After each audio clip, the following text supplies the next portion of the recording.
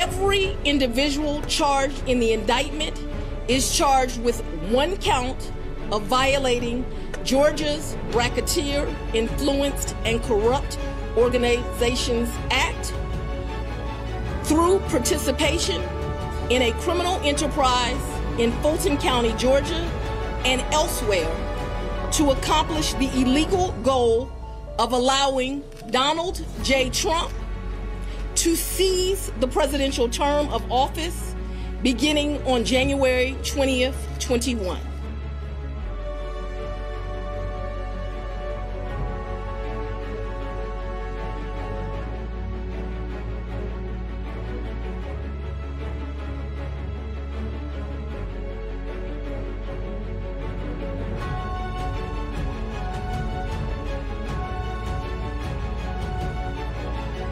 The indictment alleges that rather than abide, abide by Georgia's legal process for election challenges, the defendants engaged in a criminal racketeering enterprise to overturn Georgia's presidential election result.